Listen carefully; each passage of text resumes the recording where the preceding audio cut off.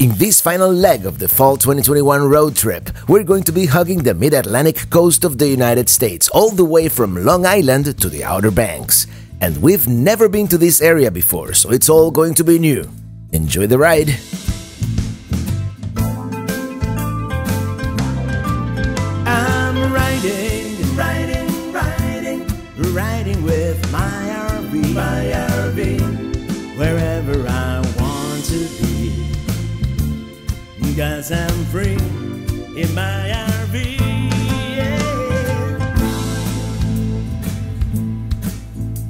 We only spent one night here, and uh, one night was probably enough. Let's stop it off. I don't know where the next gas station is going to be. Hmm, Somewhere in New York, I presume. Well, at 353 per gallon for credit card, this has to be by far the most expensive gas in the whole trip.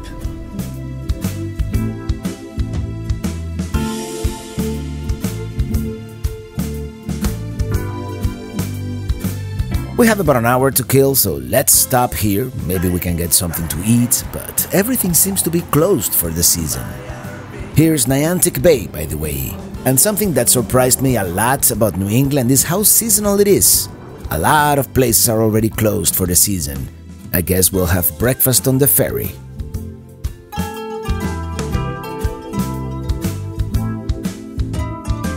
Let me tell you something. Even though we've enjoyed our time in New England tremendously, I think it is time to go someplace else. I mean, we loved the nature, the food was amazing, and so were all the great people we met. But now, the South is calling. And this trip we're about to take, in some ways, bucket list.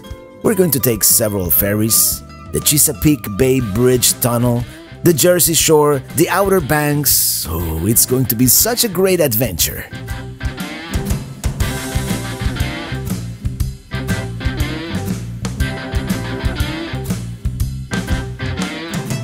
Here we go. All aboard.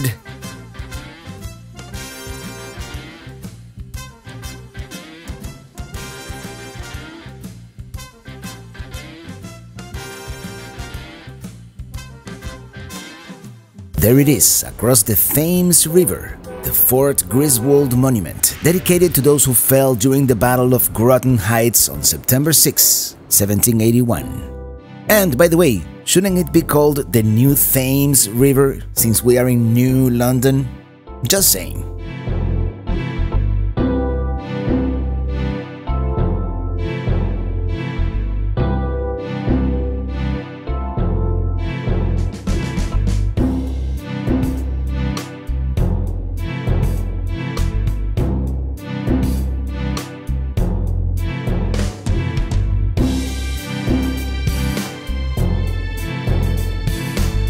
There's once again the monument, also called Groton Monument, since that is the name of the town on that side of the river.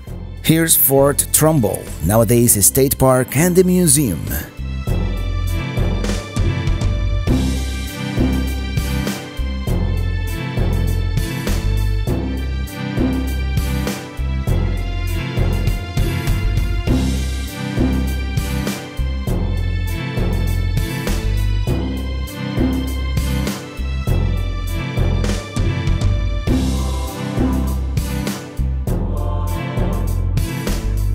That would be the new London Harbour Lighthouse, dating back to the 18th century. Wow, would you take a look at those mansions? Isn't that something?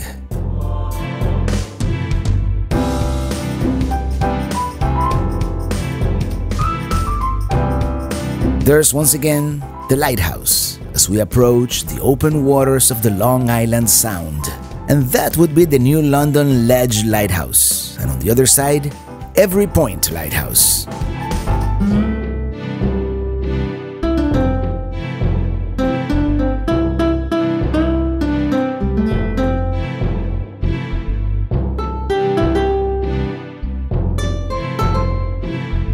Looking to the west, if you squint hard enough, you might be able to see the New York City skyline over the horizon. Nah, not really, if only the earth was flat, right? But don't despair, We'll see New York soon enough, and lots of it.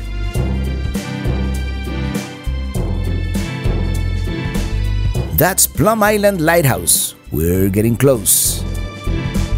Orient Point Light, perhaps?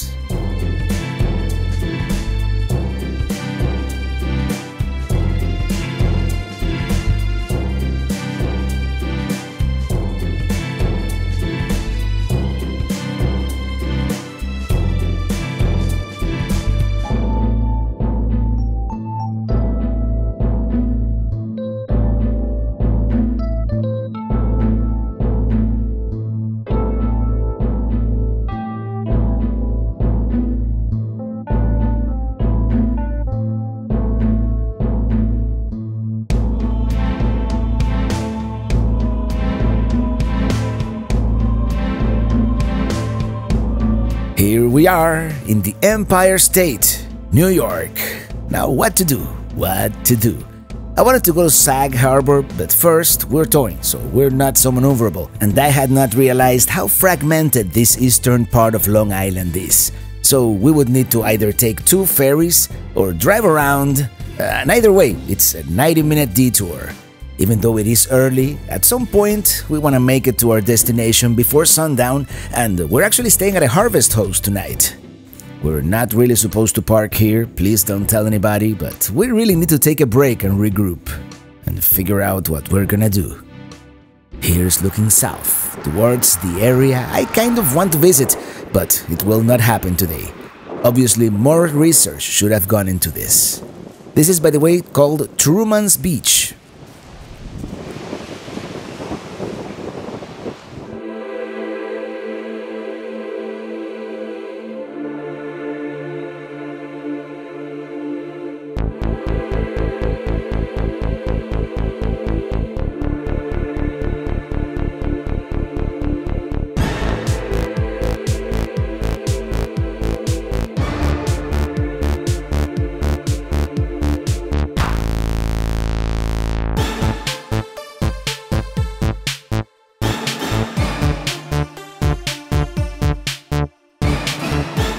11.6. You think we'll make it? Lots of wineries in this area, by the way. And the lighthouse, Horton Point Lighthouse. It's supposed to have views of the sound and even a museum. Okay, I got myself into a dead end. Again. And all this to see a lighthouse that is closed right now and one which you can't even see from the road. Okay, let's not do that again. Long Island, not exactly what I expected. I mean, I didn't know what to expect, but I was hoping to be able to stop at different places, maybe more ocean views. And maybe it is us, but the farther west you go, the least RV friendly it seems. And the weather certainly does not want to cooperate. Also, I guess there's a reason why they called it Long Island. It is long. It is a long drive.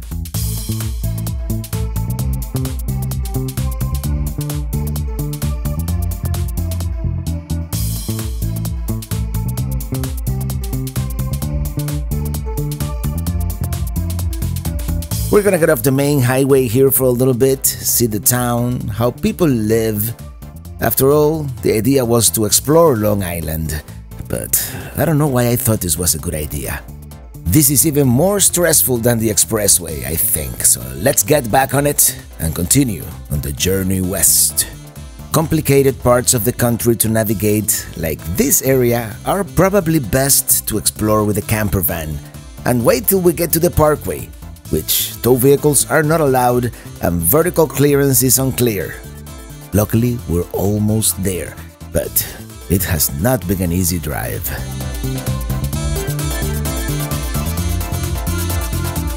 Here we are arriving at Oceanside, New York, and our harvest host is a brewery and let me tell you, after this stressful drive, I'm so ready for an IPA. The brewery is located in this industrial area, so let me find out where to park. Alright, we're going to park across the street temporarily while they finish dismantling those tents, and then we're gonna park right next to that other rig in front of the brewery.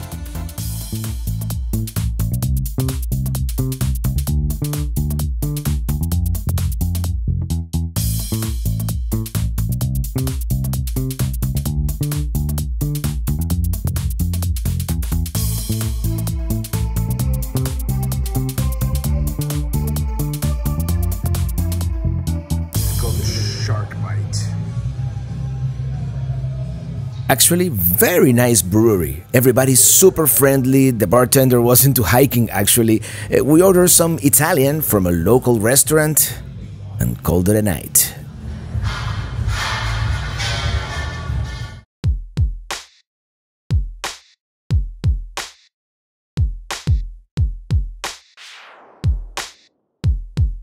It's a brand new day, and let's fill up the tank because things are about to get really complicated here. Today, we're going to do something. something we've actually done before, just not towing a travel trailer, which in this case greatly complicates things. We're going to be doing something no prudent, level headed RVer in their right mind would ever do. Today, we're going to be driving in Brooklyn, New York. Not necessarily by choice. There is a parkway, a very nice highway actually, but the rules about vertical clearance and RVs are very unclear, so we're going to take the truck route just to be on the safe side. Safe being a very loose term here, considering what we're about to do.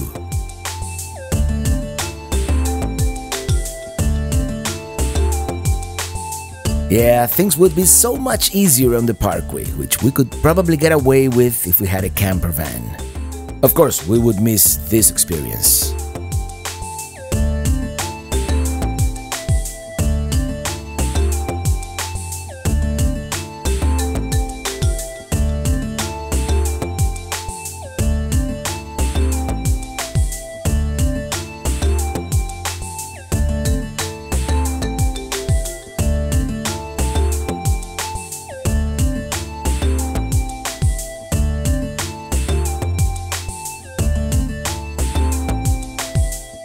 Check it out! The World Trade Center. You can see it all the way from here.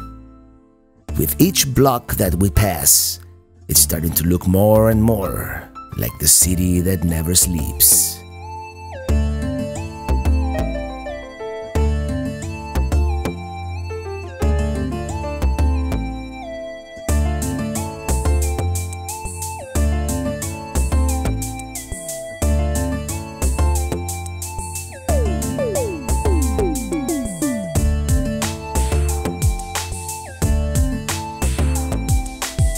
Let me tell you, that's a very nice condo right there.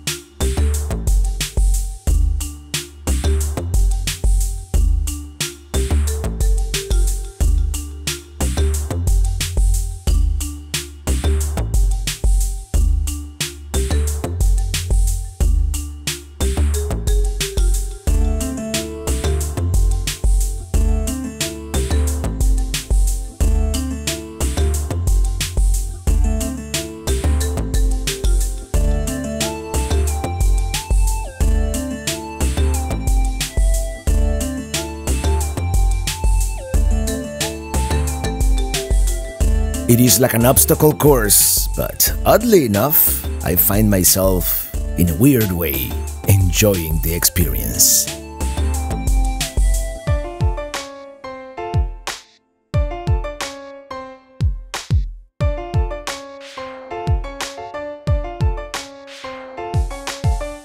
There, we can already see the gigantic towers of the Verrazano Narrows Bridge.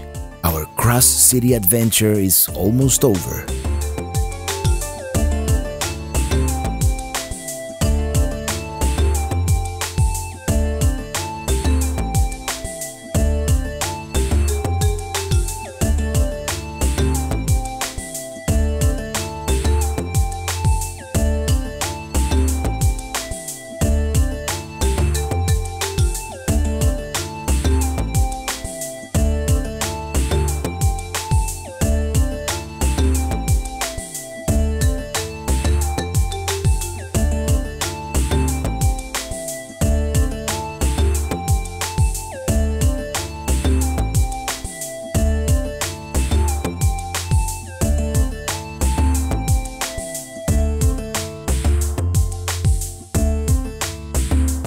Driven across this bridge once before actually, and as I recall, the views of Manhattan are supposed to be spectacular, even though you kind of have to look back a little bit. Luckily, I have Illy to operate the camera.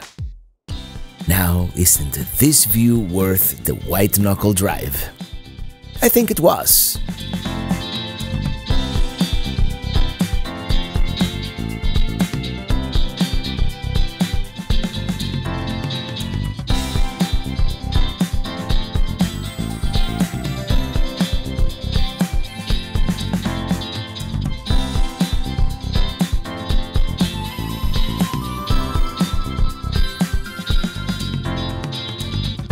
The drive through Staten Island much more relaxed.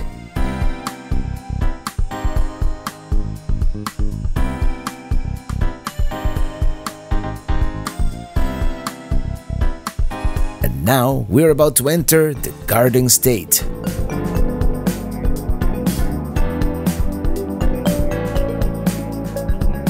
Our first point of interest in New Jersey is going to be Sandy Hook, which is this barrier spit at the north end of the Jersey Shore, and home to the only clothing optional beach in the state. Of course, the reason we're here is for the spectacular views of the New York skyline afforded by this site, strategically located at the southern entrance to Lower New York Bay. Wait, wait till you see it. It is the off season, so entrance is free. Let's park right here and have a quick lunch. Alright, right here on the side of the road, made a sausage sandwich with uh, parmesan onions on a brioche, and, uh, and we have a view. Well, came to Sandy Hook here, which is, by the way, free. Even it doesn't matter if you have the America the Beautiful or not. It's it is free in the off season, and then in the on season, it's like 20 bucks per car. I have no idea. But the reason I came here, by the way, you're, is you're not supposed to swim on the beach in the off season because there's no lifeguard. But the reason we came here is mainly for the beautiful view of Manhattan that you get from this beach. And we may go all the way to the end, but but for now I'm just gonna take the picture from here. It's a beautiful day too, perfect weather here in uh, yeah, we're now in New Jersey.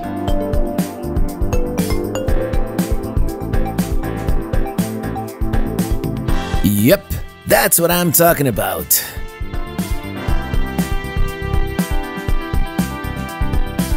Let's do a long pan here from left to right, starting with downtown, lower Manhattan, and of course, there's the World Trade Center, such an iconic skyline, even from this somewhat unusual vantage point.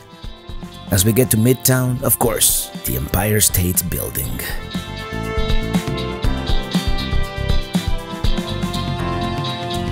Yep, these are the two most iconic parts.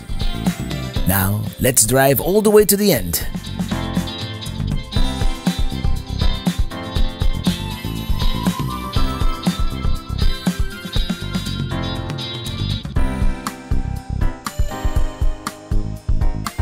Is that a Nike missile I see?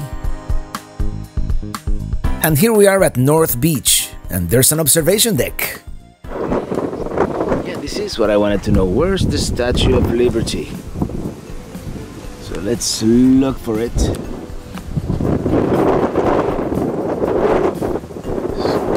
It's to the right of the Verrazano, to the left of.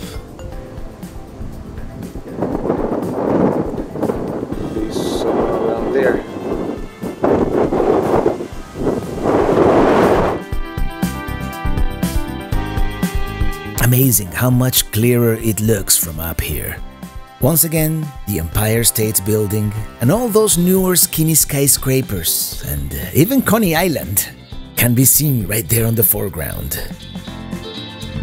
Here's the Fort Hancock 9 gun battery, and you have no idea how long I've been wanting to come to this place and see those views of New York. I've studied the maps and seen online pictures, and now we finally made it here. I'm not gonna put it in the bucket list category, but almost. Almost. This here is called Officers Row at Fort Hancock, which are these 18 homes where married officers used to live. There's the Sandy Hook Lighthouse, the oldest working lighthouse in the United States, dating back to 1764. Some of the houses have seen better days, some are beautifully restored. Now let's continue towards the rest of the Jersey Shore, which of course it is over 120 miles, so we're not gonna be able to see everything in one day.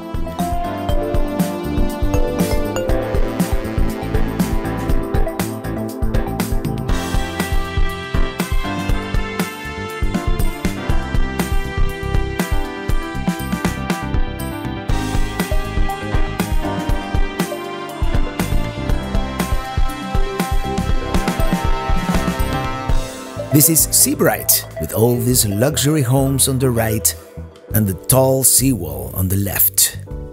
We won't be able to park anywhere, but at least we can see it from the car. This seems to be downtown Sea Bright. Mm, very nice.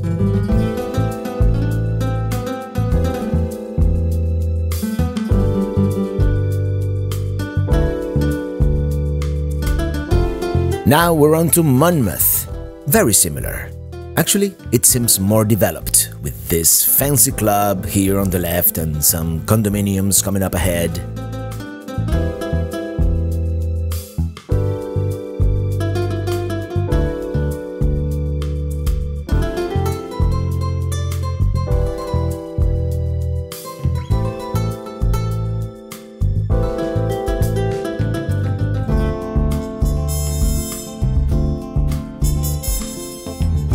Some huge houses around here.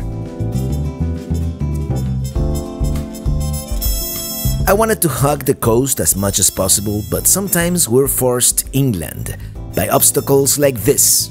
I believe this is Deal Lake.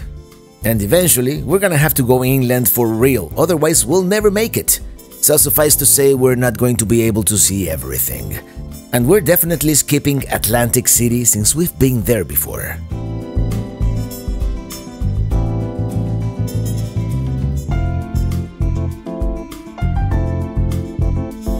We're gonna hug the coast here one more time by the borough of Bay Head. Then we have one more point of interest we want to see, and after that we're heading inland for real. It's another typical beach town with narrow streets and oceanfront property. Let me tell you, these are beautiful mansions here by the beach, but after a while, it's all the same, and I don't want to bore you with all this opulence, so we're going to skip to one point of interest which is, by the way, not particularly interesting to me, but it may be for some of you. This is Seaside Heights, and here on the left, the house from the reality TV show Jersey Shore. I haven't watched a single episode of the series, but if you have, well, here's the house.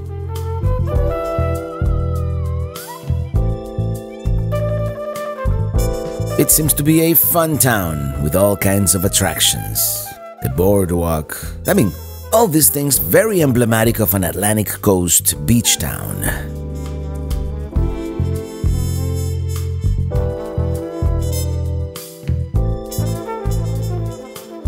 And that's it. Going inland. Gotta put some miles behind us. There's one point of interest we're going to miss, actually. Well, several. But the main one, Lucy the Elephant in Margate City, just past Atlantic City. But as I say, we'll return. I just want to get an overview of the area of the East Coast, see what it is like, see what I like. Our destination today is Cape May. We've been hearing about that town for years. By the way, that would be Ocean City, New Jersey in the distance, which was kind of part of the original plan, but it is getting late. We're gonna be staying at Seashore Campsites and RV Resort, which has since been rebranded as Sun Retreats Cape May. There are a handful of options in the Wildwoods, Cape May area, and this seemed like the best choice.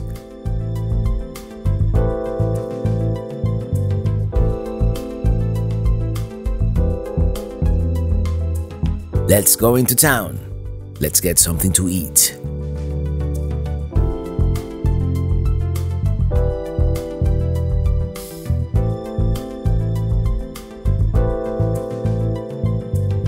Here we are, Beach Avenue in the historic district.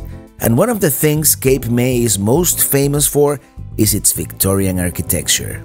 It is actually considered a National Historical Landmark.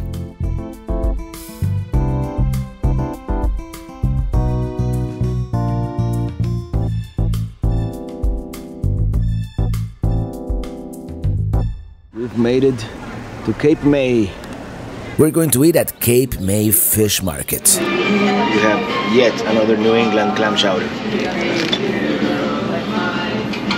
And our last lobster roll of the trip. Not bad, pretty abundant. Mm, had to finish with the softy, right? From what's the name of this place? Kohr Bros. Well, it is dark here on the on the streets of Cape May. But I want to tell you something. That uh, that clam chowder was probably the best we've had in the whole New England. Even though this is not New England technically, but the lobster roll mm, was alright. Not the worst, not the best, but overall it was a good experience. Uh, now we're gonna go back to the RV and, and rest.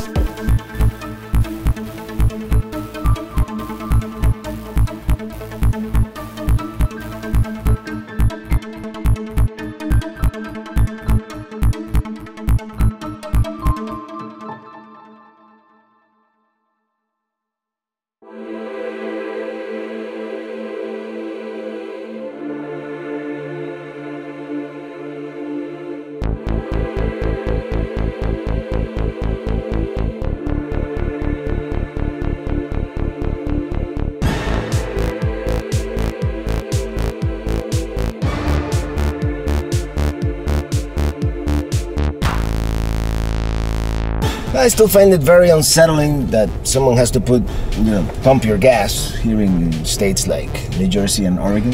Seems wasteful as of, you know, people and and time. You know, I, I could have done a more a quick, much quicker and more efficient job, but hey, that's the way they like it.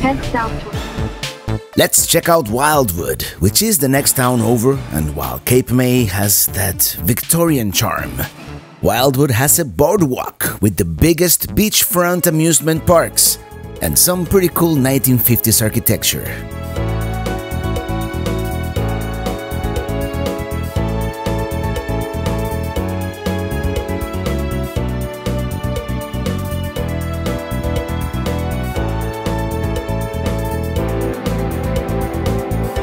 These signs and these hotels, they do have a little bit of a Route 66 feel to them, don't they?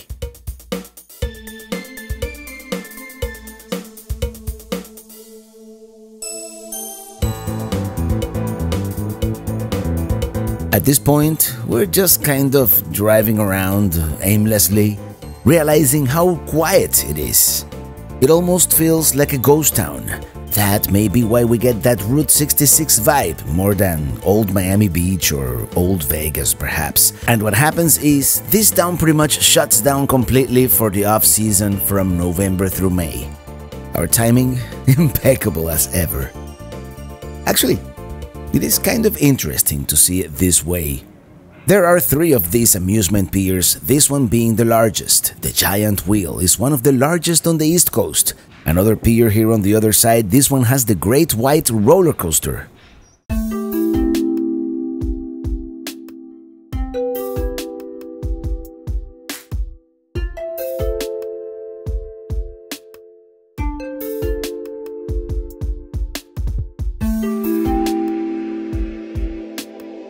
Well, as you can see, Wildwood here, pretty much a ghost town, as you can see that's as the off season begins. Although today is one of those days, you know, it's beautiful days in the 70s. But yeah, this town is pretty much shut down now, which is uh, which is funny how seasonal it really is. We're gonna continue exploring a little bit, but it feels almost like a post-apocalyptic thing with everything closed.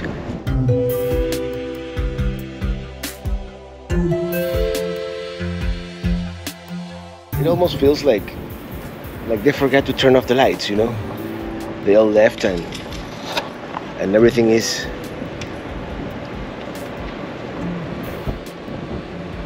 just imagine this with people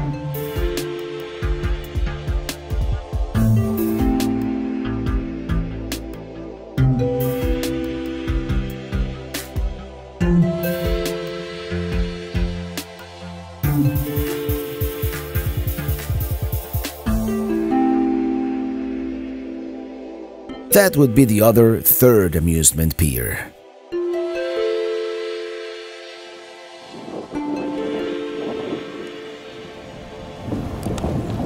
Check it out. It's one of those places, isn't it?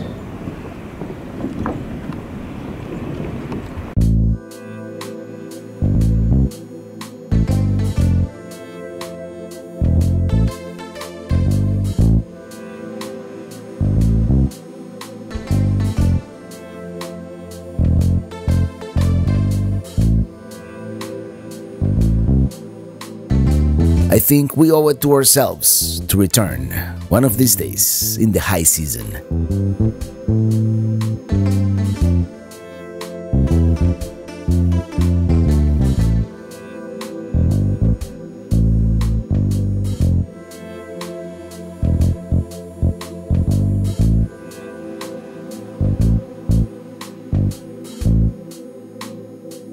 Quick stop here at Burn Plaza. They have a Wildwood sign. Well, here's an, yet another Wildwood sign.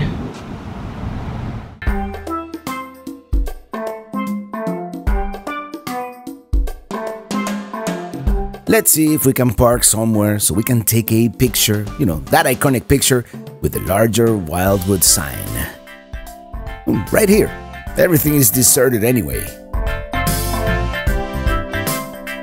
By the way, does anybody know why the sign says Wildwoods in plural?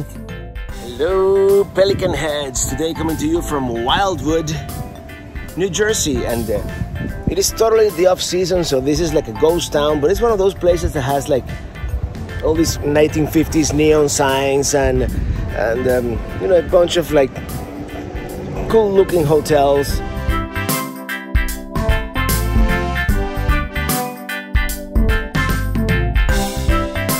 We're gonna go back to Cape May. I mean, there's not a whole lot to do here today. There is a way to go directly from Wildwood to Cape May, but it is through this toll bridge, which has one peculiarity, and you'll see it in a few seconds. Yep, the toll booth is in the middle of the bridge, and of course, it is a drawbridge.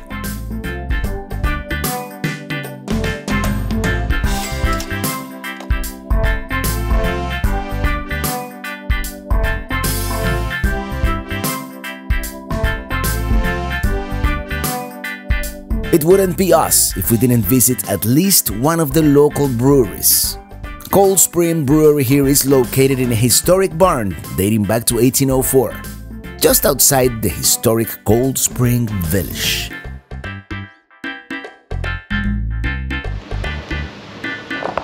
Well, this is a historic brewery here. We'll we'll find out the history soon.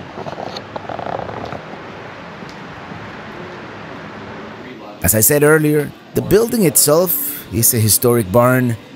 The brewery, they have only been around since 2014, but the beer is really good.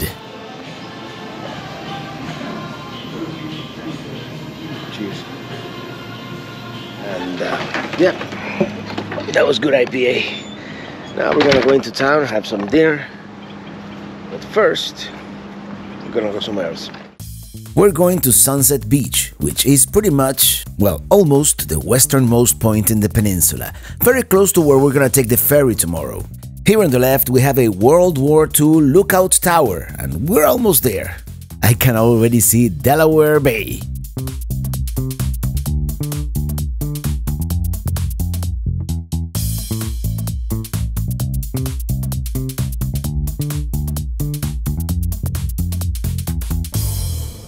Well, that would be the wreck of the USS Atlantus.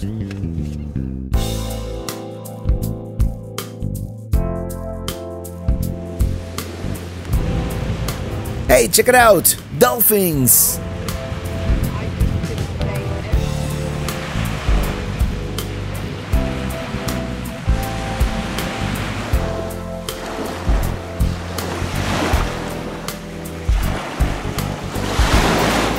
The USS Atlantus here, the most famous of the 12 concrete ships built by the Liberty Shipbuilding Company during World War I. These ships were built out of steel and reinforced concrete, which was cheaper to build but harder to operate. In 1926, the ship ran aground here, and they could never set it free.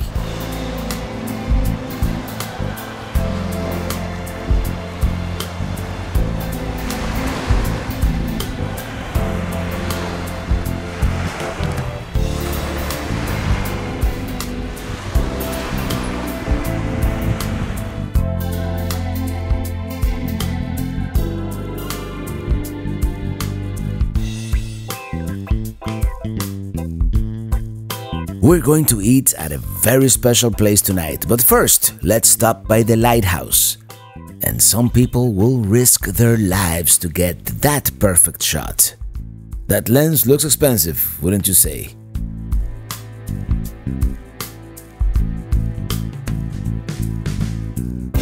There's the 1859 Cape May Lighthouse, but this area is also very famous for bird watching.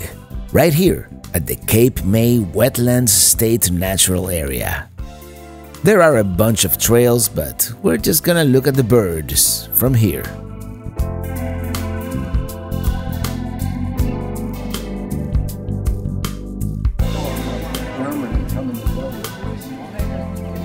You got a nice shot right there with the swan on the ducks. Go ahead, shoot it. Ooh, check out that plane.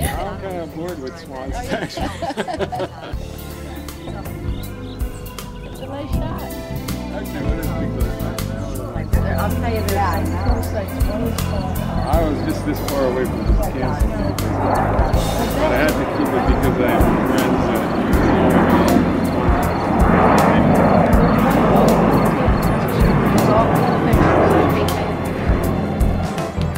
Alright, let's go eat.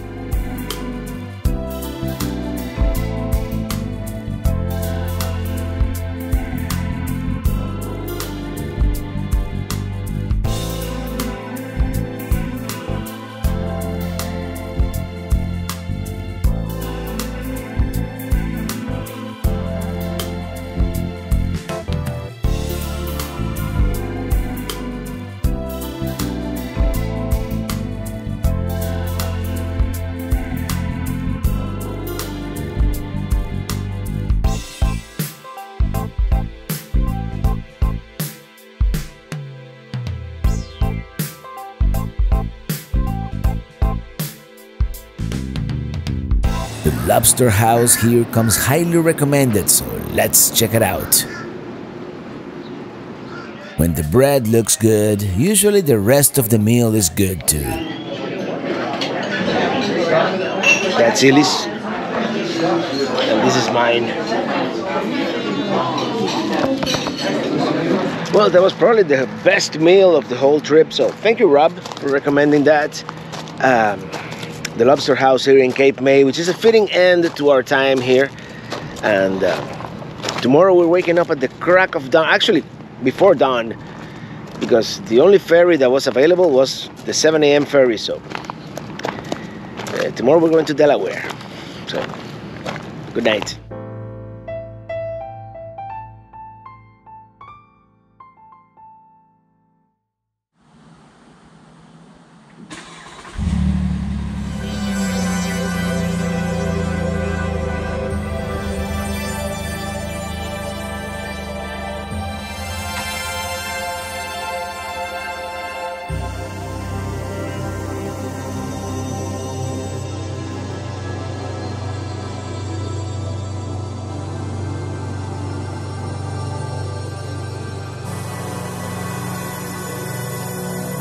It's still dark. Well, you can kind of oh look at the moon. But in any case, why have we awakened at this uh, ungodly hour? By the way, good morning. Well, the only ferry we could get was the 7 a.m. ferry, and we didn't want to be late, so it is 5:53 a.m. We're about 10 minutes away. Should be fine, right? We're going into Delaware.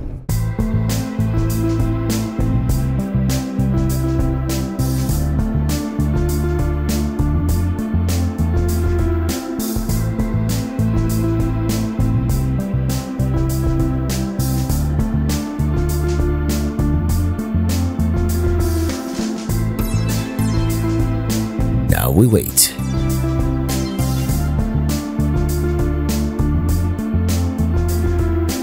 It is always exciting to get on a ferry, you know, change things up a little bit.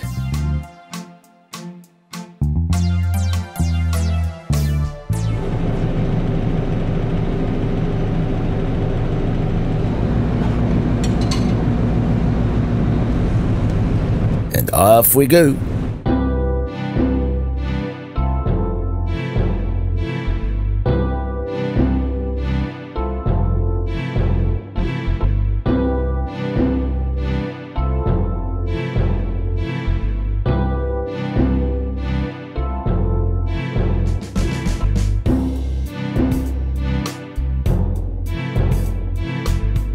There's the SS Atlantus and the Cape May Lighthouse.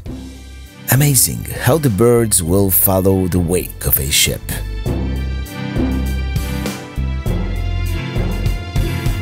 The sun's peeking out.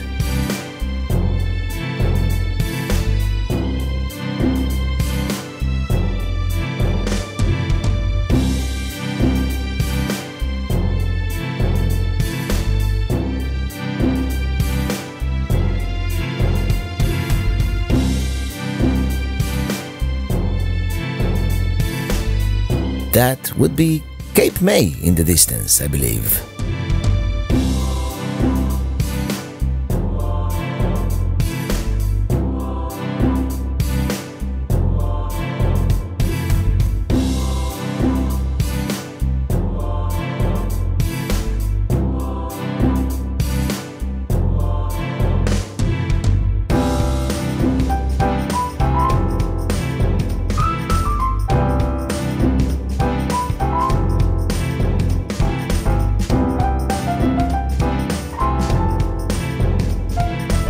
There's the Delaware Breakwater and East End Lighthouse.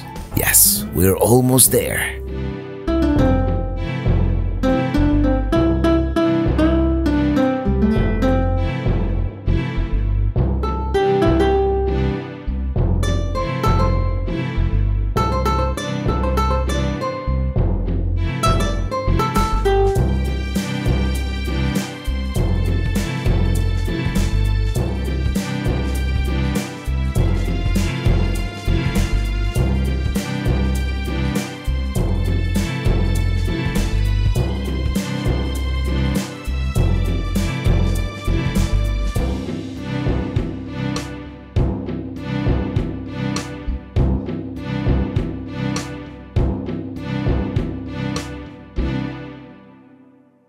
It is technically not our first time in Delaware, but it kind of is. In the past, we've only driven the 23 miles or so on the I 95 corridor that goes through Wilmington, and this time around, I'm sorry to say, the timing isn't really going to work out. We're going to drive around Lewes here and find somewhere to park. It is not a bad looking town, let me tell you. The peculiar building here on the left is the Zwaanendael Museum. It is a replica of a Dutch city hall commemorating Delaware's first settlers, the Dutch.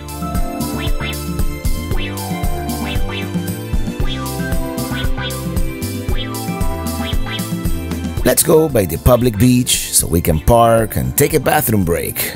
I forgot to go on the ferry.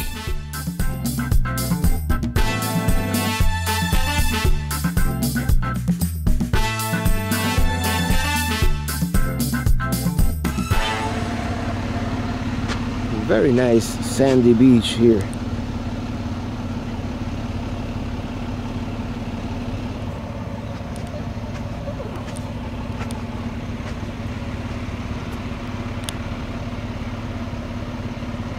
Nice beach here. Uh, this says uh, heading parking only, but of course I only had to go to the bathroom. I, I doubt they're gonna mind. Uh, parking lot is empty. I doubt they'll mind. I'll park here for for just a few minutes. And now, I mean, it's early, it's, it's gonna be closed, but we're gonna stop by Dogfish Head, one of my first IPAs.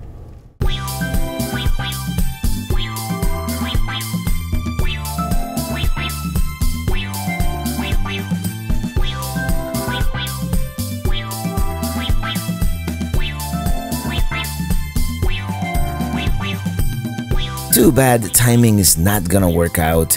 It seems like such a nice area. There are several points of interest around here. Cape Henlopen State Park, also Joe Biden's beach house. No joke, but I doubt they'll let us visit.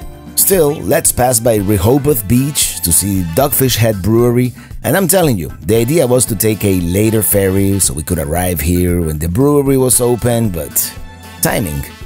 It doesn't always work out now, does it? And we already have a hard to get reservation for tonight, so it's not like we can change plans.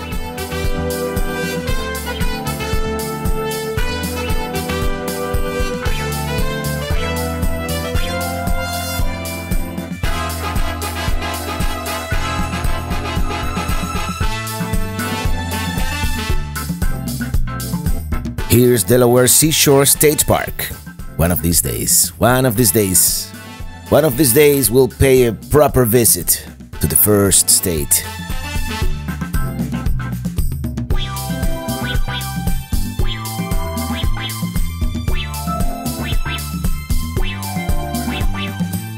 We are now in Fenwick Island, and pretty soon here we're going to cross into Maryland.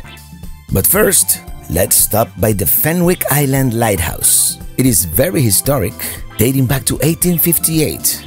Unfortunately, I don't think we're going to be able to park, and it is not open for climbing anyway, so a drive by will suffice for today.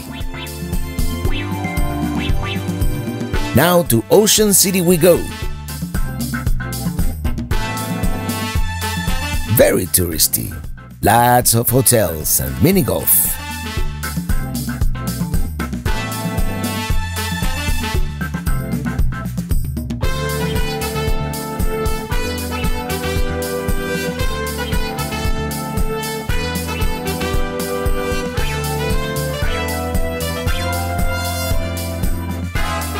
Here we are, Ocean City, Maryland. We're gonna stop at one of the back streets to take a break, and I was gonna walk around a little bit, but realistically speaking, I think it is a better idea to go to our campground first, drop the trailer, and then come back. We are meeting up with longtime viewer and friend Dale, also known as the Traveling Elk. This happens to be the eastern terminus of US 50. There's the sign Sacramento, California, 3073 miles. US 50, of course, one of the most important cross country highways. It used to go all the way to San Francisco, but that section was replaced by Interstate 80 in the 1950s. It is one of those mythical, legendary, epic bucket list drives. I'm thinking we might do the whole thing in summer 2022. We'll see. Today we're staying at Assateague Island National Seashore. I was able to secure a site at the Oceanside Campground.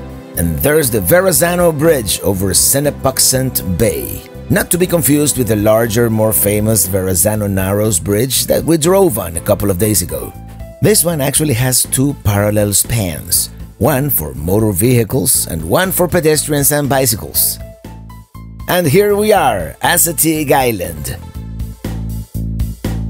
On the left, behind those bushes, that would be the State Park Campground. We're staying a little farther south, and here we are at the National Seashore. I keep saying it, there should be like a fast lane for annual pass holders. Just saying.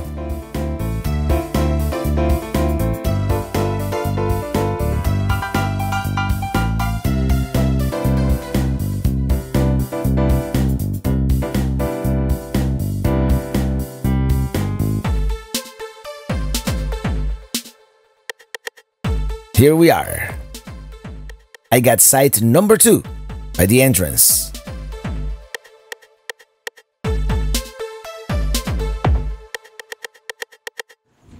That's our campsite. Now let's go all the way to the beach over there. There it is, the Atlantic Ocean. And these beaches are famous for the wild ponies that roam them. Hopefully, we'll get to see some. I kind of wish we would have come in the summertime, or at least warmer weather, to take a dip in the water. And that's Ocean City in the distance. And that's the view looking south. Apparently, you can drive on the beach. and it is very windy out here, but a beautiful day nonetheless.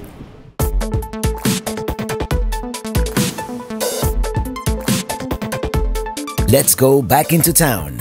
No wild ponies yet, but I've been reliably informed they come right around sundown.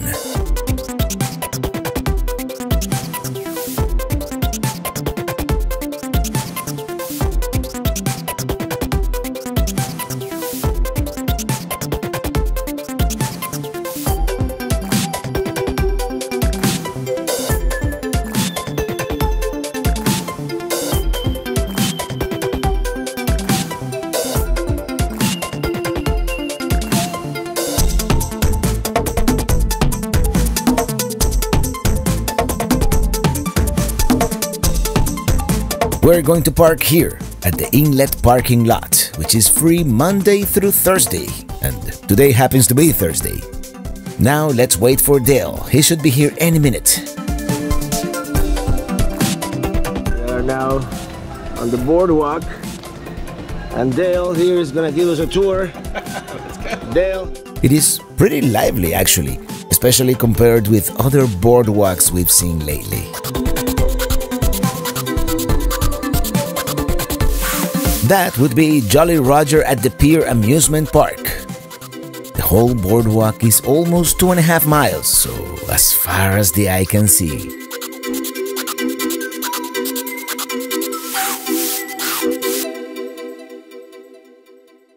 It is the firemen's and a 9/11 uh, memorial. This monument is dedicated to the firefighters of the world, and there's a piece of steel from the World Trade Center.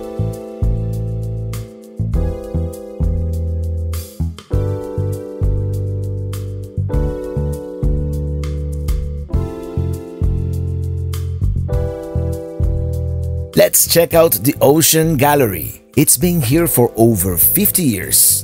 It looks very interesting from the outside, but I have no idea what to expect inside.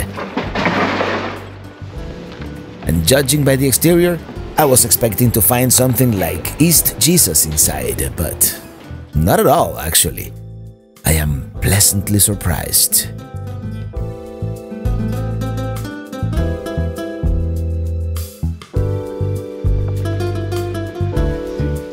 Robert, there's some horses. Now you said you saw some.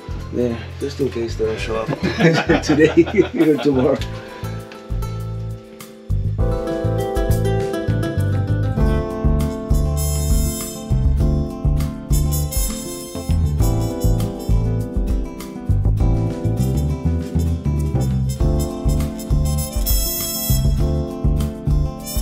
Here's the owner. He's a he's an interesting fellow.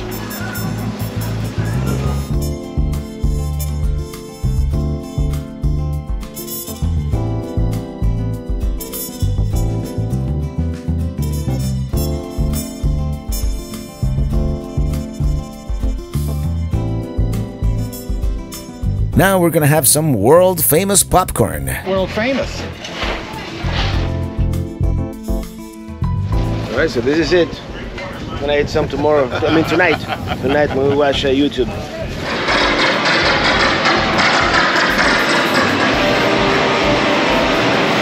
An arcade.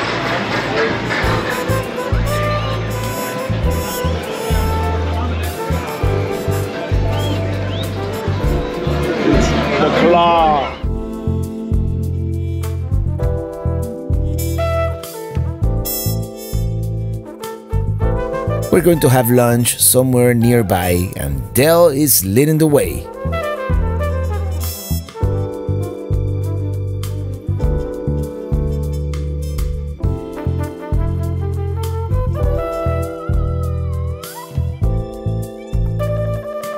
Yes, we're going to this place called Sunset Grill, located at Sunset Marina, just a few minutes away from the boardwalk. Sunset Grill. Let's check it out. That's a Florida Keys vibe to it. A little bit. Nice bar.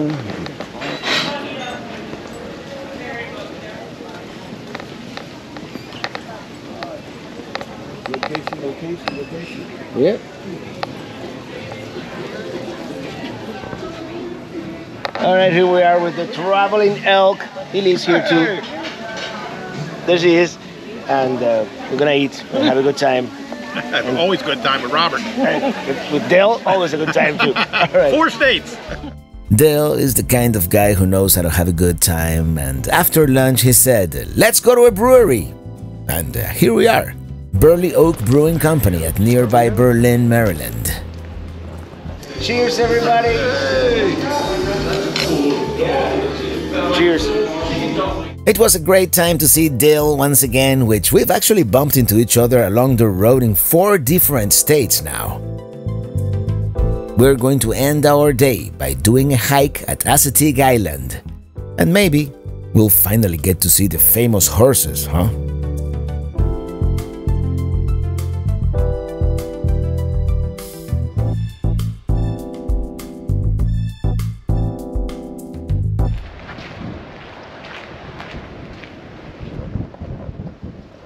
Let's go on the little trail here. It's only three quarters of a mile.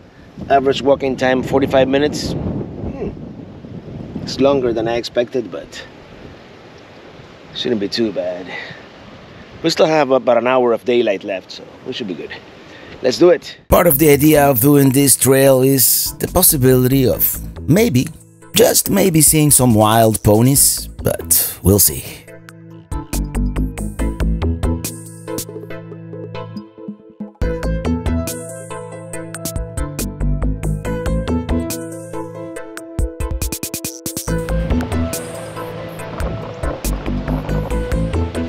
Baltimore Boulevard. Interesting. Now, where are the horses? Yes, according to the sign, this used to be a road built in the 1950s and destroyed by a storm in 1962. And this is all that remains nowadays.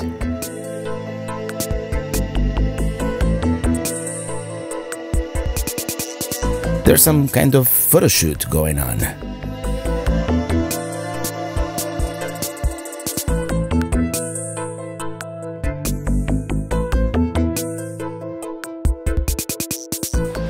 I don't think we're gonna see any horses. I have a bad feeling about this. What do you think?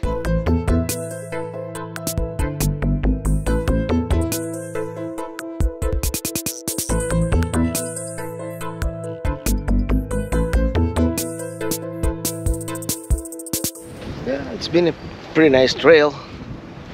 Pleasant, but I'm sorry to report no horses. No horses to be found. Oh well. We're almost back. Hello there. You're so cute. My little pony. Well, yeah, lo and behold, as we're going back to the campground, the ponies are everywhere. Hello there, little pony. Now our day is complete. But let's finish it at the beach.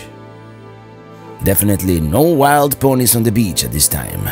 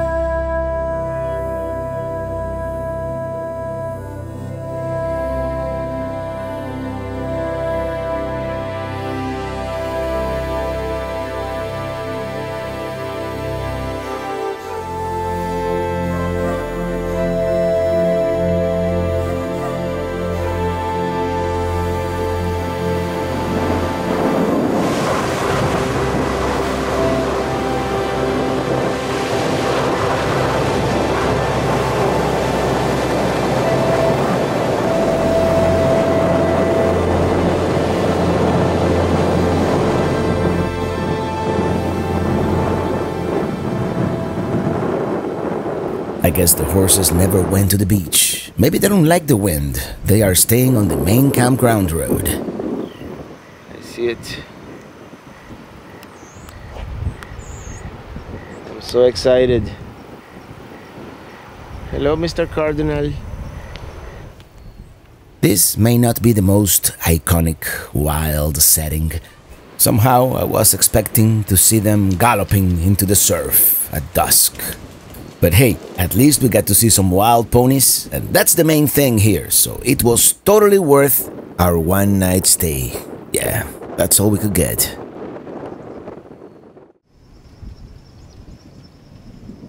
Well, we woke up at the crack of dawn in order to see the sunrise. Oh, how cool is that? Yeah, from here we get to see the Ocean City Ferris wheel illuminated at this early hour.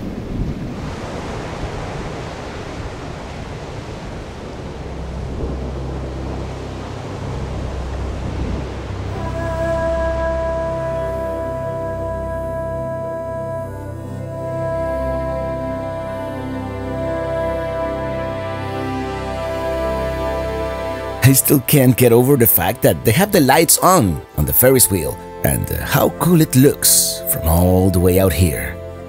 Like a beacon of fun, if you will.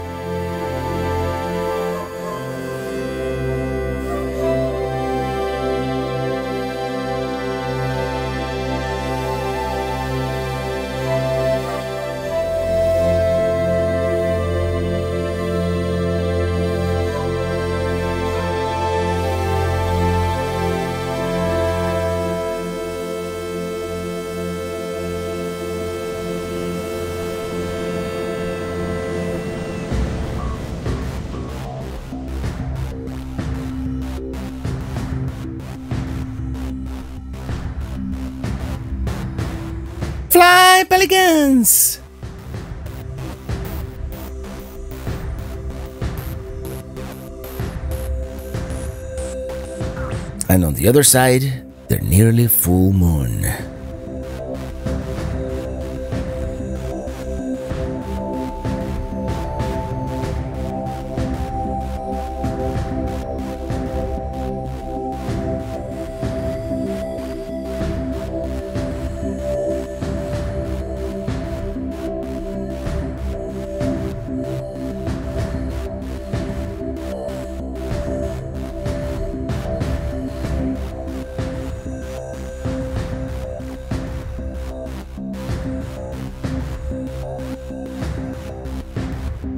All right, it is time to go.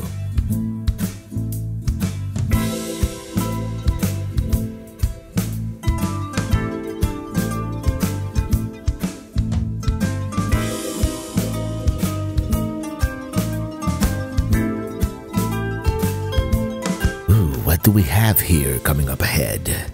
Is this like the farewell committee? Well, what do you know? We have some wild horses bidding us farewell. Very cool. You can never have too many wild horses now, can you? Riding, riding So, why did the horse cross the road? We've got ourselves a pony jam.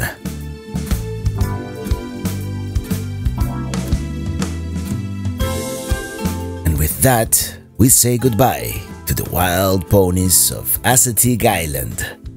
Now the road will take us farther south to Chincoteague in Virginia, another island inhabited by wild horses. Now let's see if the weather cooperates because there is rain in the forecast.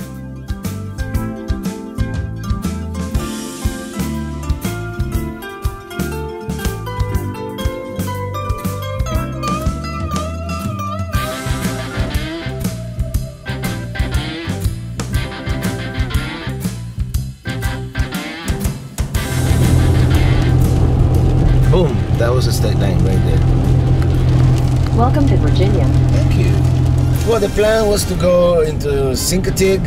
I think that's how I pronounce it. There's more wild horses and stuff there, but with this weather, I'm like, "Ah, let's continue. Let's get to, to our harvest host early, you know, take a break. And then we have the live stream, so we might stop. You know, we have three hour drive, so we might stop here and there. And we have the the Chesapeake Bay Bridge, which is kind of bucket list.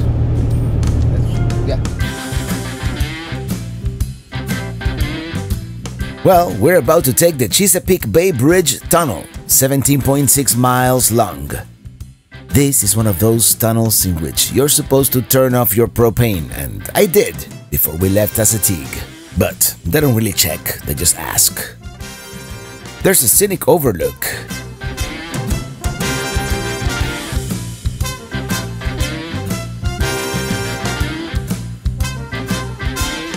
Am so looking forward to this crossing. I have always been fascinated by engineering feats like this one. The bridge tunnel was opened on April 15, 1964, and in the 1990s they constructed the parallel trestle. As of 2022, construction of a parallel tunnel is underway. It has 12 miles of trestle, two 1 mile long tunnels, four artificial islands, four high level bridges, and approximately 2 miles of causeway. Riding, riding.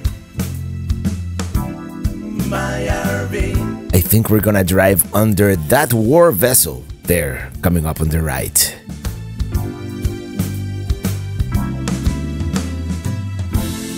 Riding.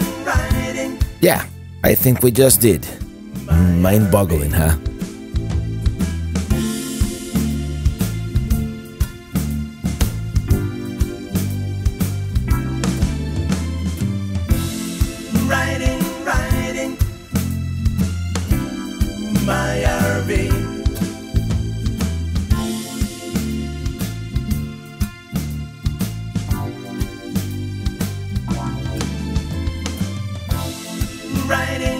That's Virginia Beach. We're almost on the other side.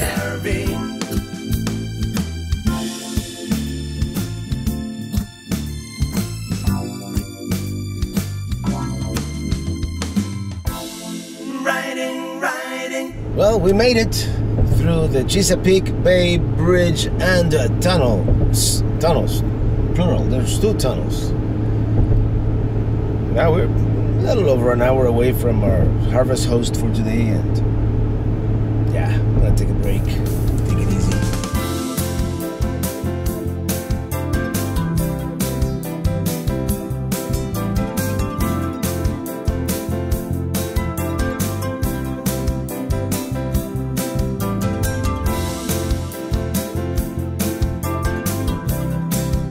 Some torrential rain, eventually we've made it to our harvest host, the Weeping Radish, North Carolina's oldest microbrewery. And uh, yeah, at some point we crossed into North Carolina.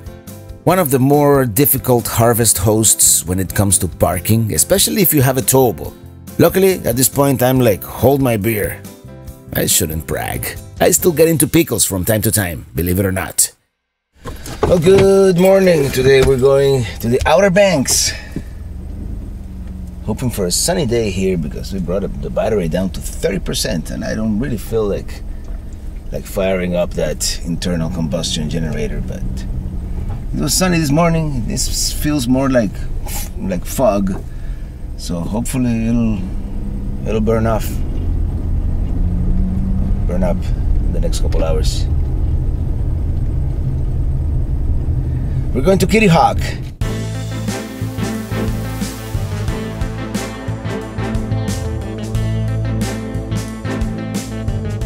What are you doing up there? Yeah, goats are kind of crazy, aren't they? And the sun came out as we cross over onto the barrier island chain known as the Outer Banks. Yes, I said Kitty Hawk because our first stop is going to be at the Wright Brothers National Monument. But here's a fun fact. When the news came out about the Wright brothers' flight, they said it happened at Kitty Hawk. Well, actually, Kitty Hawk is about 5 miles north of the site, but at the time it was the closest town. Nowadays, the actual location is Kill Devil Hills, and uh, here we are. I was gonna say it again, but I am not. Well, here we are at the very spot where the airplane was invented, and uh, this is apparently the field.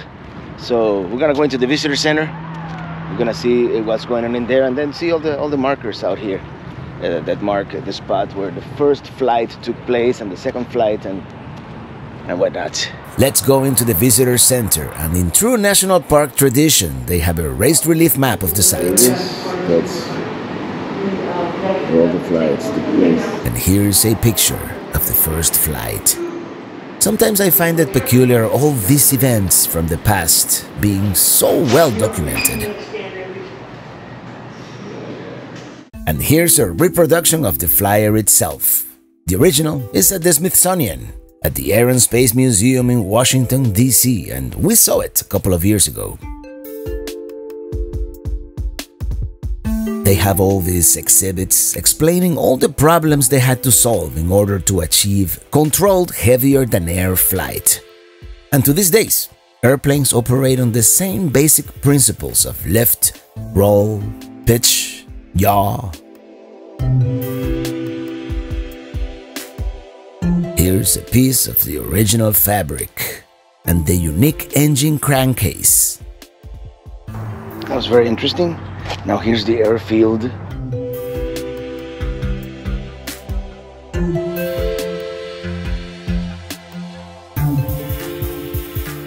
Here we can see reconstructed the hangar and the living quarters from the Wright brothers 1903 camp.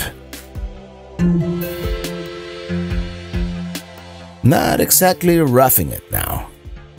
Actually, the first year they lived in a tent, and then they built the second hangar and moved into the first hangar. Here we are. This would be the very spot where they would would have taken off. Um, this field here, the prevailing winds from the ocean, of course. And those are the markers. Let's let's walk over there. The markers that mark where they, they, the all the flights landed. And this would have been the end of the first flight. We just walked it in about. Probably we could run quicker than, the flight flew here. Just 12 seconds, 120 feet from from the takeoff point back there. Of course, they improved and then the flights became longer. There's a more modern aircraft, and yes, they do have biplane sightseeing tours. So they used a launch rail to provide a smooth surface for takeoff. Let's go see the monument. There's no specific oversized parking, but there's no one here by the back and we'll be quick. Now we're gonna hike all the way up there. Shouldn't be too bad. And wouldn't that be cool to go on a biplane ride? That almost looks like Red Baron's plane. Hmm, maybe not. Another time, perhaps. Here's another view of the site from this higher perspective. And we're almost there.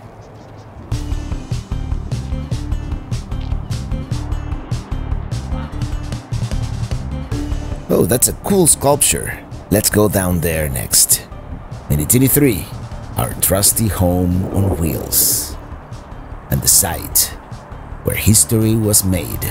The birthplace of controlled powered heavier than air flight. And the reason they chose this site? The prevailing winds coming from the Atlantic Ocean. Well, this right here would be a life-size representation of that picture we saw inside the visitor center. And it's cool to see it, you know, 3D, you know, from uh, that perspective. Let's go the way around and see it from the photographer's perspective. Here's the exhibit explaining what we're looking at. Let's get a little closer to the action here.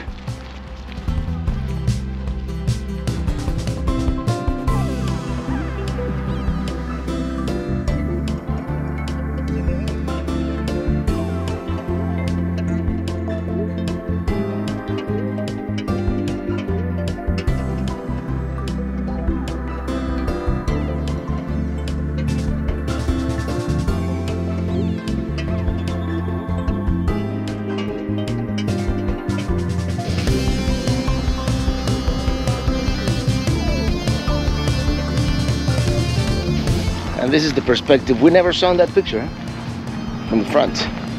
At least we can imagine what it would have looked like from the front.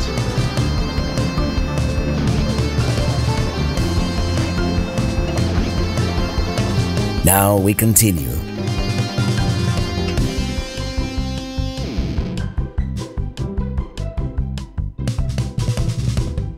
I decided to take the next street over, closer to the coast, but I've realized that seeing the ocean from the road is rather uncommon pretty much everywhere. Roads like A1A by Flagler Beach, Florida, or California Highway 1 are extremely rare.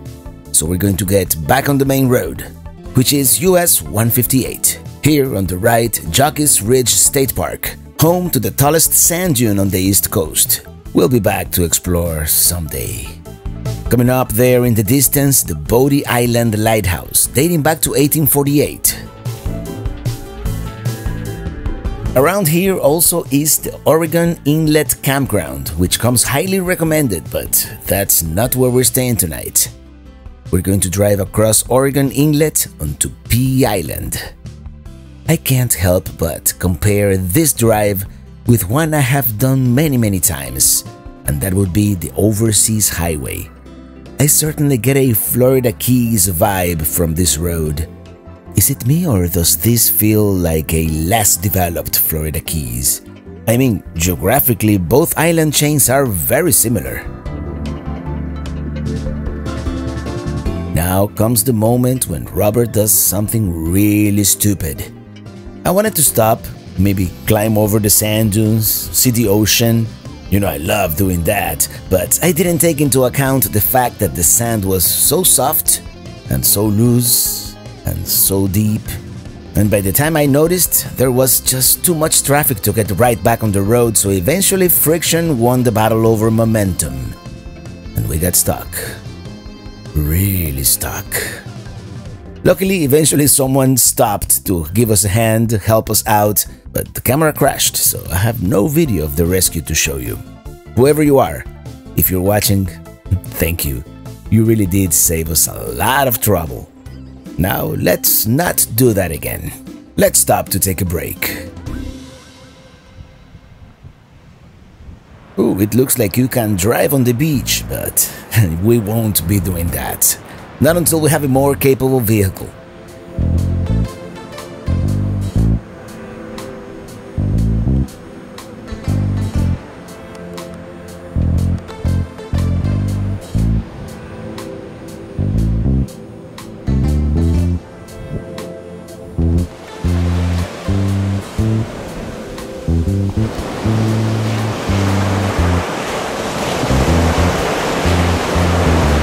Check it out, Fly You know, I grew up by the Straits of Florida. I basically saw it every day until I migrated at the age of 16, and I love the ocean. I love the beach. It may seem like a contradiction, but along with the mountains and the desert, a beach is my happy place. If it was just a little warmer, I would be jumping in that water right now. We continue. There is the iconic Cape Hatteras Lighthouse, our next stop. And here we are. Well, there it is, famous Cape Hatteras Lighthouse. Uh, unfortunately, as of October 2021, here you're still not allowed to go to, to the top, COVID. So um, all we can do is just take a picture from this uh, disadvantageous position because the sun is right behind us. But it is what it is. We'll continue. We'll be back one of these days. The lighthouse was constructed in 1802 and then rebuilt in 1868 after the Civil War. In 1871, it was the tallest brick lighthouse tower in the world. It was moved to its current location in 1999. Well, that's the lighthouse back there, but now we're gonna go to the original location where the lighthouse used to be located, which is by, right by the beach here. Uh, so he's marking the storm surge from different hurricanes. Wow. Well, yeah, apparently the shoreline has been receding over the years, and well, the lighthouse was far away from the from the from the shoreline in 1852. Right now, it would would have been too close, so that's why they moved it we are here so um, going towards the water I imagine the, the lighthouse would have been somewhere in that vicinity. Which let's walk into the beach right now because it's actually a very, very nice beach.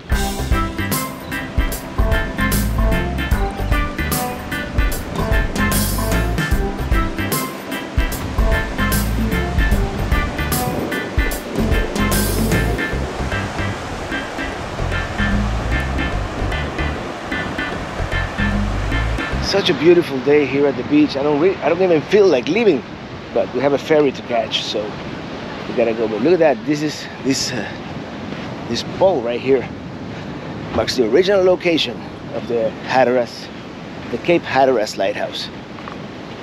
Right here, so close, so close to the ocean. I can see why it would be uh, dangerous, you know, with hurricanes and stuff, like to keep it here. So, in 1999 they moved it over there, is quite a distance. Must have been quite the feat of engineering. All right, let's go back. Let's go back now.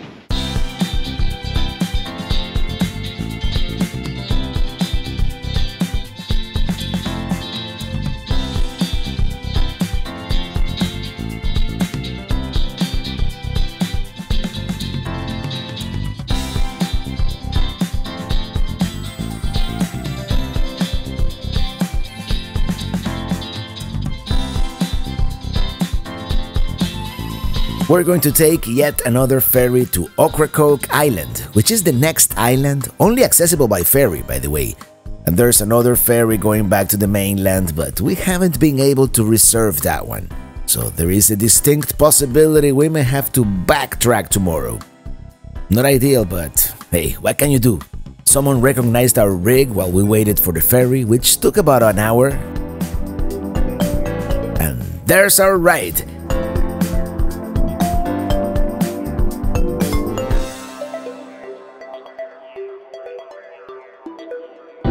The distance itself it is not that far, but the ferry has to make a big loop to avoid the Hatteras Inlet crab spawning sanctuary. Okay, let's do it for the delicious crabs. Nice houses here. And Minitini 3 on a ferry once again.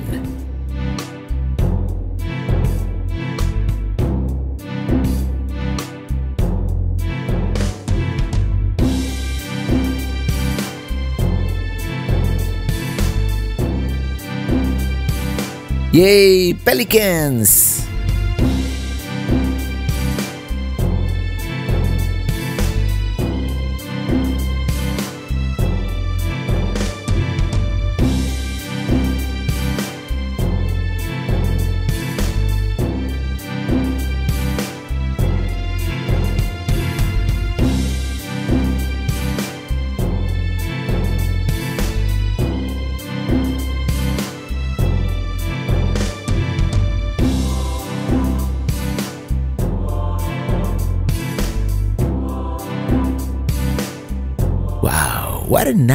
Sandbar. We definitely have to come back to this area. And so much wildlife.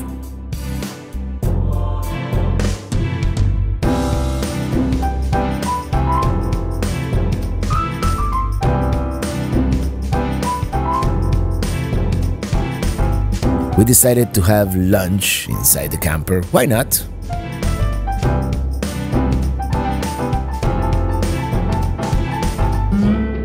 Hold on, we got ourselves a stowaway.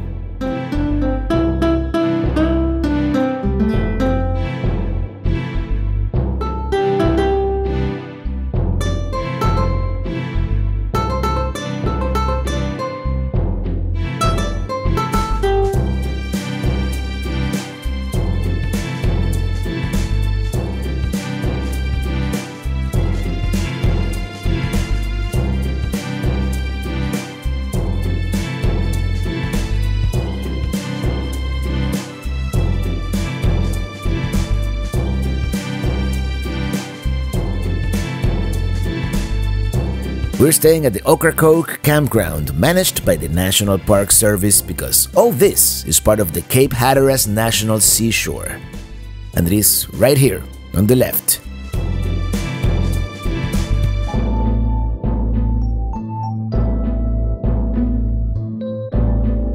And there's no one here to greet us. I mean, we already paid, so I guess we just go to our site and that's it, right?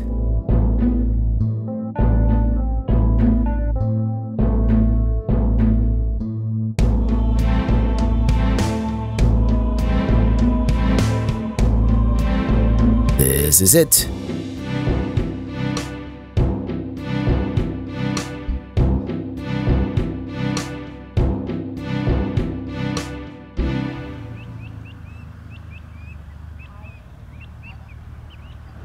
It is a short, if steep, hike over the sand dune to access the beach of the Atlantic Ocean. And what a beautiful day it is!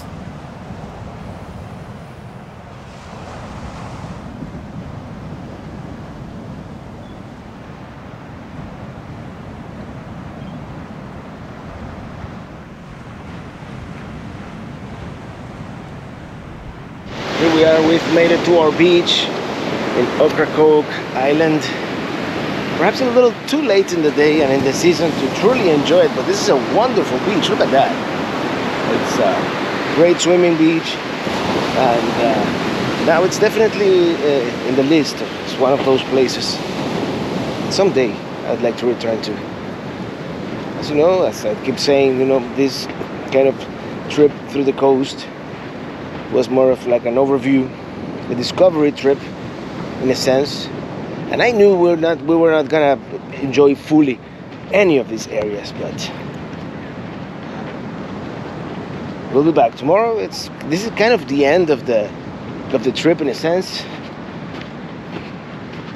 For the next two days, we're just gonna drive west towards Atlanta. Actually, I wanted to take the other ferry, but I forgot the name of the town. We couldn't we couldn't uh, find tickets. It was uh, completely booked. So we have, now we have to go all the way back through the Outer Banks and then west towards Atlanta. Well, sunset is upon us. It is magical.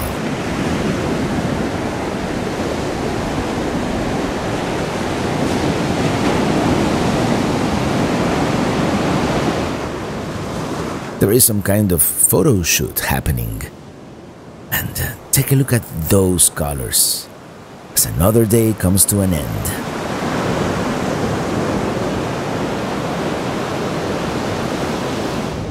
That's a pretty elaborate sand castle.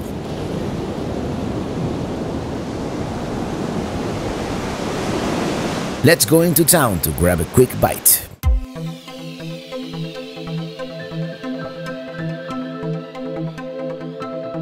Ocracoke is supposed to be a quirky little town, so I'm kind of bummed out we arrived so late.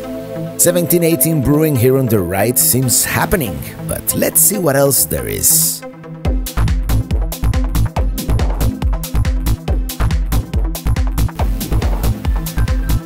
There are a couple of other places, restaurants and whatnot, but that first brewery was really happening, and we've had good luck with breweries lately, so that's what we're going to do.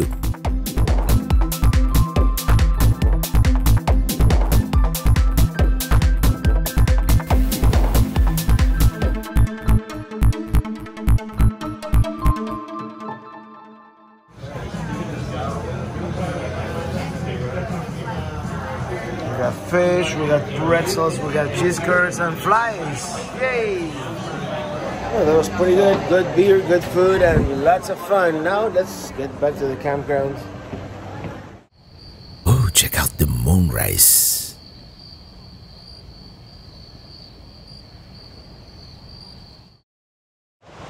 Good morning. Ooh, how elegant. The flight of the pelican. Poetic license, right? Fly, pelicans!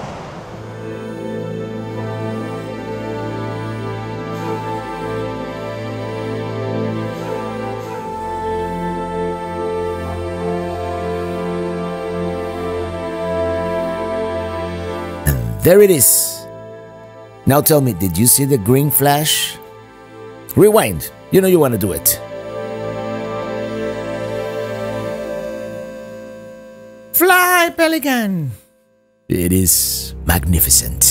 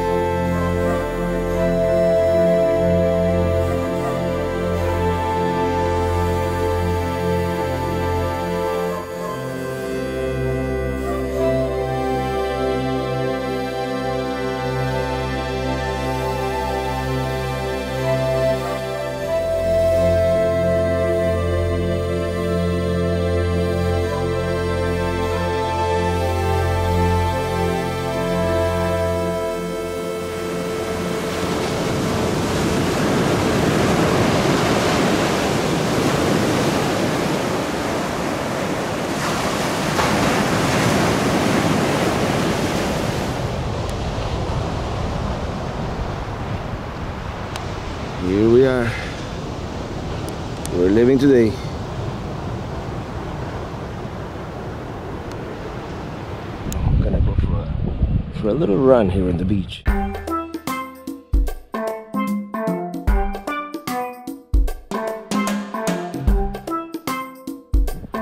This was nice. And I've never actually done chicken breast on this grill, so we'll see how it comes out. This is almost ready. Oh yeah, cheddar grilled chicken sandwich. Cheers.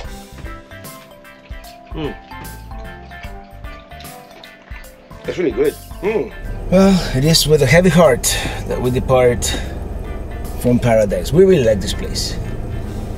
Ocracoke. I believe that's how it's pronounced.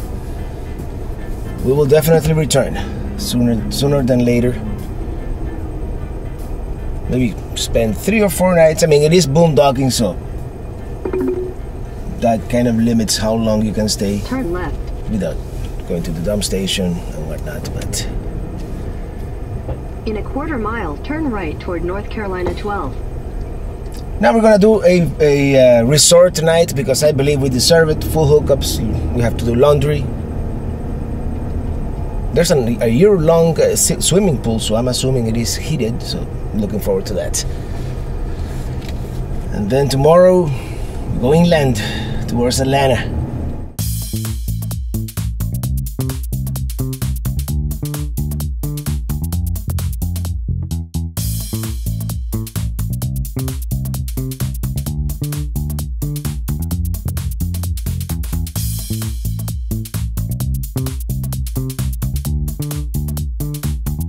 Naturally, it is Sunday, and everybody wants to get back to the mainland.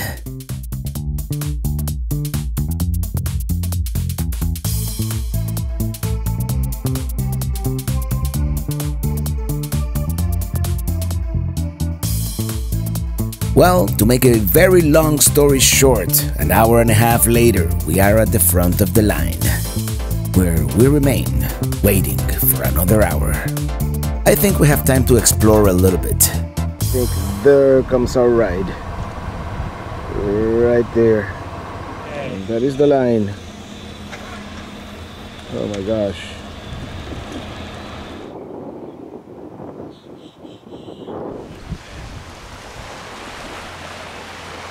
Some people do have priority. I'm assuming residents, employees, and this large contraption here that is going to take up half of the ferry. Hey, wait a minute! It is my turn. I guess they have to get the weight right with that heavy thing on the left hand side. Here we go. Yeah, they made a very small dent on that line. Those people are gonna be there for hours.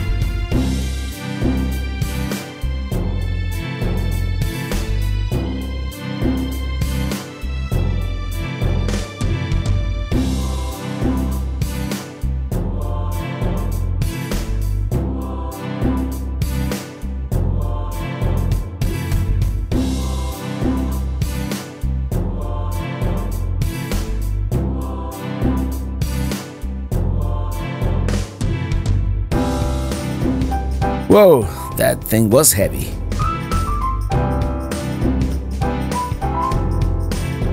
It is going to be a busy rest of the day for the ferry, that's for sure.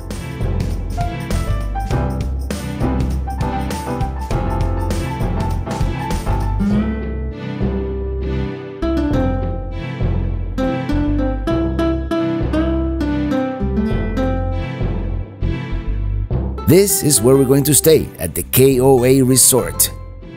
I did get a $50 discount with my KOA points.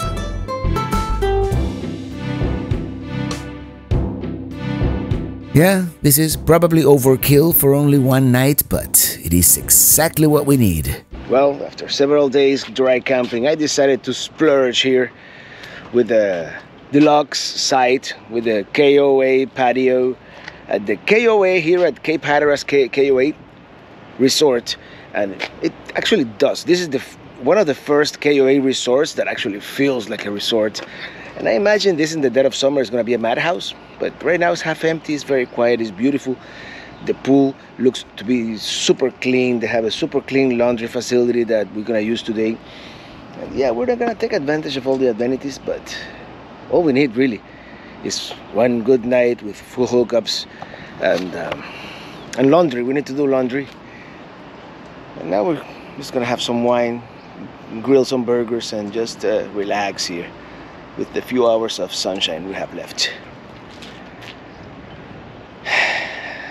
Saying goodbye to the Outer Banks.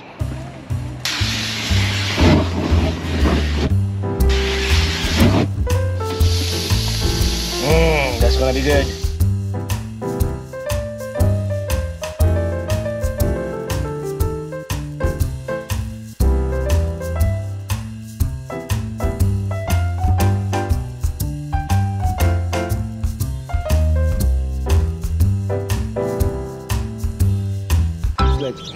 Coming soon. The swimming pool.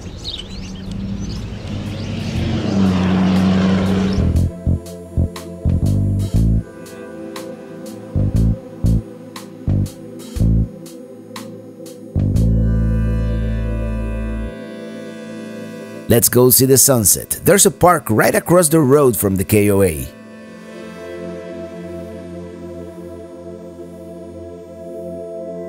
How many sunrises and sunsets have we seen now over the past few days? All different.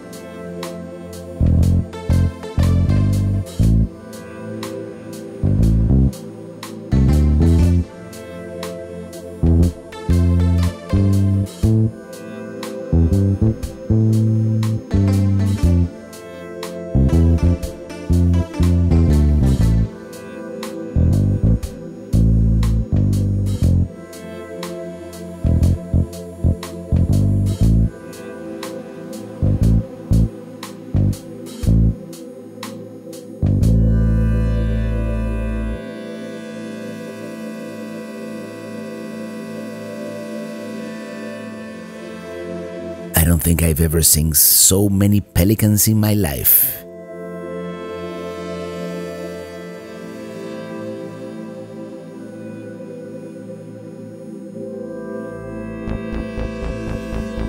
Let's go back to the KOA. It is probably the largest swimming pool I've ever seen in a campground.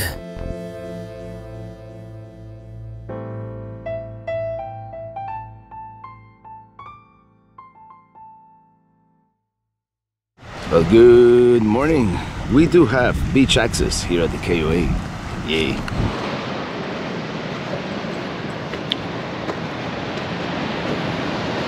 Here we are.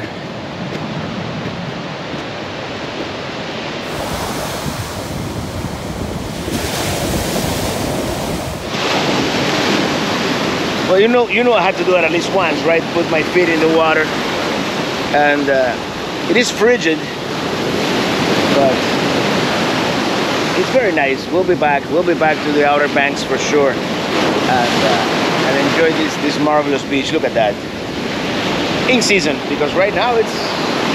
I mean, I'm sure if you're from from Scandinavia, you'll find the water balmy, but this Florida man finds it, you know, uncomfortably cold. In any case, I keep saying goodbye to the Outer Banks, but now for real, now for real, we're uh, we're going away from this idyllic place. Just gonna have breakfast and we're heading west towards uh, Charlotte area.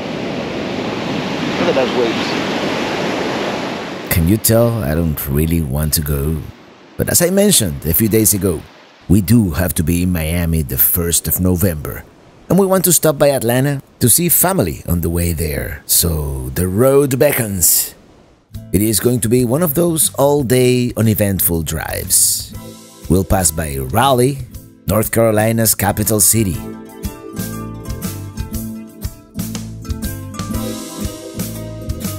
We're going to spend a night at Charlotte at the Fort Mill KOA. We've been there before. Riding,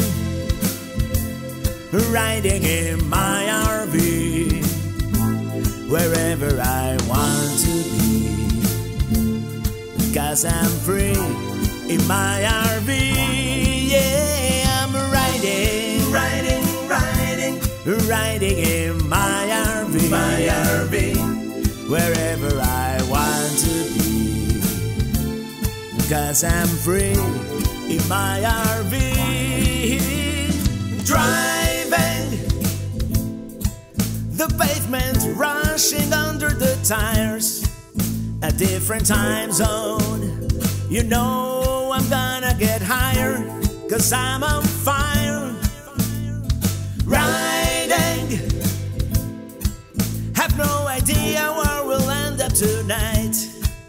It doesn't matter, cause you know it's gonna feel right. Because we're riding, yeah, riding. Riding in my wherever I want to be.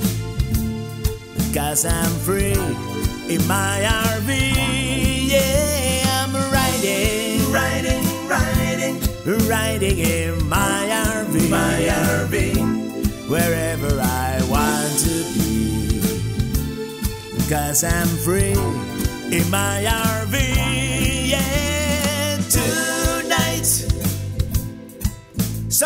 remote, we're gonna boondock. We'll see the Milky Way or a shooting star if we're in luck. Oh, this is glamping, yeah. You know, it is the way that we like to roll. And making memories out here is what nurtures my soul. Yes, I am riding, riding in my RV, wherever I want to be. Cause I'm free in my RV, yeah, I'm riding, riding, riding, riding in my RV, my RV, wherever I want to be. Cause I'm free in my RV, yeah. This is it. We've arrived at our North Florida retreat, also known as Pelicamp. I really hope you have enjoyed our fall 2021 season. Until the next one, thank you so much for watching and see you on the road.